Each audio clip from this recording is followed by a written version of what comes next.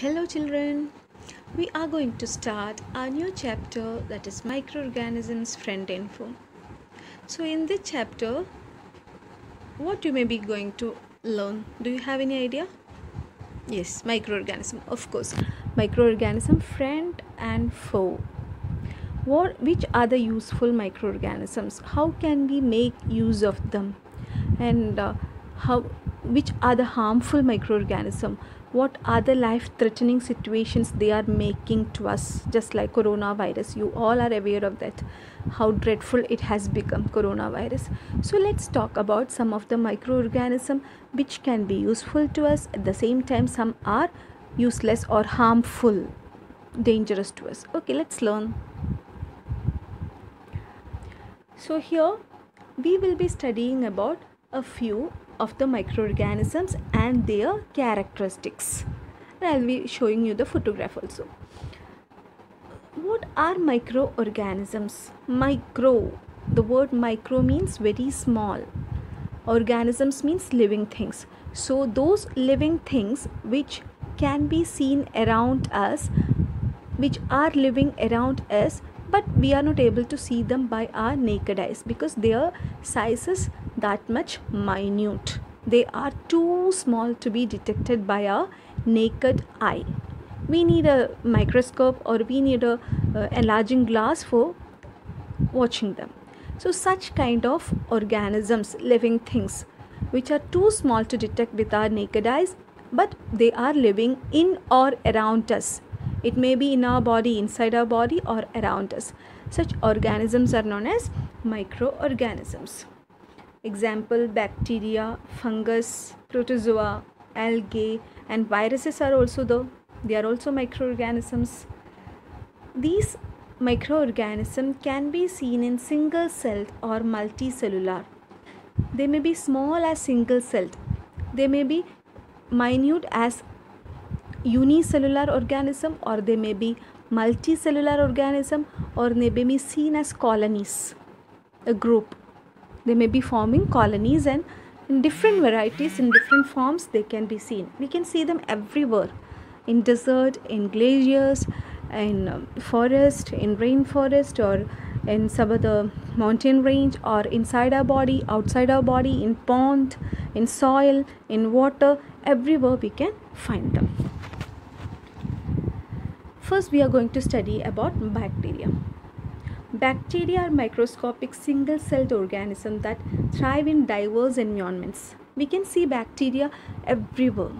They can be survived in different variety of conditions or environments. They are single cellular organism. We call them prokaryotic. What do you mean by prokaryotic?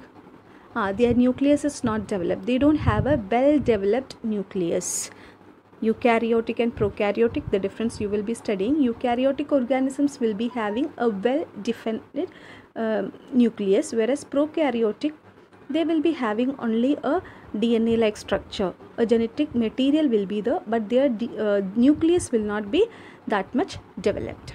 So bacteria is such a kind of organism. It's a microorganism it is a single cell organism. It can be seen in variety of conditions these organisms can live in soil, ocean and inside the human gut, inside our body also, inside our stomach also we can see them. So this um, uh, these kind of bacteria, so many bacteria are highly useful to us. Fermentation process, for example, in the fermentation process of anything, any dough, if you are keeping in a fermentation, bacteria, useful bacteria will be acting on that. And there are a lot of um, that is disease causing or harmful bacteria also. So we will be studying about them in detail. Uh, then uh, typically a few micrometers in length bacteria have a number of shapes ranging from spheres to rods to spirals. They are too small. We have already told that they are microscopic. They are very minute. We cannot detect using our naked eye. And uh, one more thing they are unicellular. So we'll not be able to see them using our naked eye but they are of different shapes. Just like spear rod shapes are the spiral shape. Spiral shape is the cylindrical.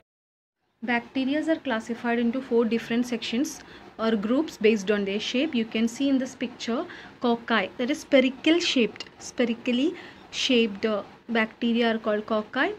Then spirilla spirilla spiral shaped and bacilli bacilli is rod shaped just like a stick rod shaped and you can see this vibrio. Vibrio is also the that is comma shaped so this vibrio is comma shaped and uh, the spirilla which is spiral shaped spiral you know spiral bending so spiral shaped and bacilli is rod shaped and uh, this coca is spherical shaped bacteria.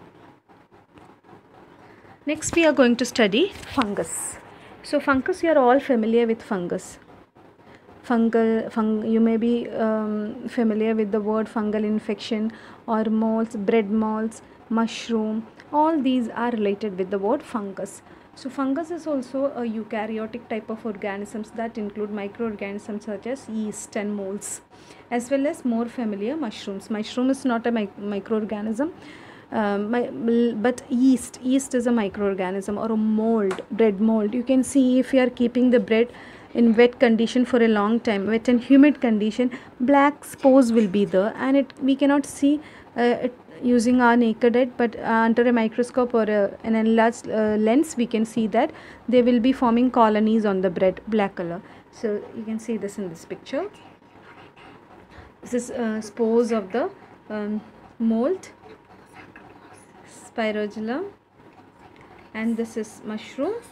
And this is what we call the yeast cells. Yeast cells they are microscopic yeast cells. Okay these uh, algae are the green colored phototropic eukaryotic organisms.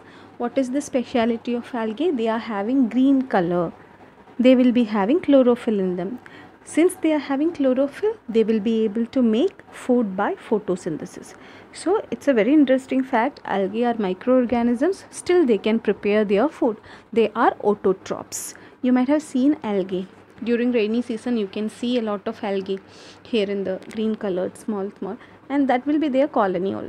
Okay they are microscopic. They can be um, they are useful because they are making their own food by chlorophyll photosynthesis. And they are uh, eukaryotic organism of course and the majority of algae use chlorophyll as the dominant photosynthetic pigment. Algae this is picture of algae. Next we are going to study protozoa. Protozoa or protozoans it's a single celled eukaryote it's single celled organism but eukaryotes single celled but eukaryote means they are having well defined nucleus. Their genetic material is well defined okay well um, that is distinguished one. Uh, either free living or parasitic. Protozoans may be free living or they may be depending on others for their food. That is they may be parasitic also. They may be living in the body of some other animals also. So protozoans are single celled they are eukaryotic. They may be single celled or they may be living in some other's body just like parasitic organisms which may be feeding on uh, microorganisms or organic matter or debris that is uh, leftover things debris or other microorganism which may be feeding on other microorganisms or some other uh, bio things. The protozoans are can be classified into four major groups which are the four major groups of protozoa. There are four dif- uh, four major groups of protozoa. They are amoeboid protozoans or sarcodines amoeboid protozoans are known as sarcodines flagellated protozoans. You can see the picture of a flagellated protozoa. It, it is having a flagella here. This structure is known as this tail like structure is known as flagella. This is flagellated protozoan here you can see the picture of a amoeboid amoeba or amoeboid protozoan and ciliated protozoans just like flagella some may be having cilia like structure uh, hair like structures all over the body. That they are called cilia hair like structure all over the body. They are known as ciliates and some may be sporozoans just like spore you know spore what it is spore. So sp- sporozoans so these are the four major classification of protozoans. First one is amoeboid. Second one is flagellated. Flagella means a tail like structure. And um, and third one is ciliary. They will be having hairy structure all over their body ciliary. And the fourth one is spore like structure that is sporozoans spore like formation. Okay the last major microorganism that we are going to study is virus. Virus all are familiar with the word virus and nowadays we uh, can hear only the word virus all over the world isn't it? So virus they are microscopic uh, infectious agents. They cause infectious diseases. They will be spreading easily from one person to another. And one of the most important thing about virus is that they will be inactive outside the host cell unless and until it enters a host cell an individual's body it will be inactive. Once it enters an individual's body once it enters once it reach a host body it become active. At that time it started replicating dividing um, increasing in number. Okay so viruses replicates only inside the living cells of an organism. Viruses can infect all types of life forms. It can infect it can affect it can attack all types of life forms just like plants animals other microorganisms including bacteria. So viruses are very dangerous microorganisms and it is very difficult for the treatment also. Some all other microorganisms treatment is easy but in case of virus it is some uh, diseases may be incurable or it takes a lot of trouble in treating such diseases. So viruses are also single celled.